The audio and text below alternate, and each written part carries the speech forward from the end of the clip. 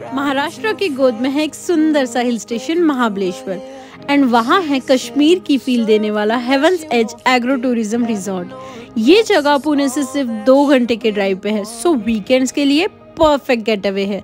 एकदम सुकून देने वाली जगह। ये रिजॉर्ट ना महाबलेश्वर की चहल पहल से एकदम दूर पहाड़ों पर है, जहाँ से बहुत ही प्यारा सनसेट एंड सनराइज देखने मिलता है।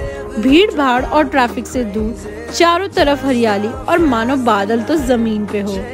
मैं आपको इस जगह की खूबियाँ बताते बताते नहीं थकूँगी। इसलिए मेरी बातों पे मत जाओ। एक बार खुद जाकर एक्सपीरियंस कीजिए। आँखें एंड दिल को सुकून देने वाली जगह है ये।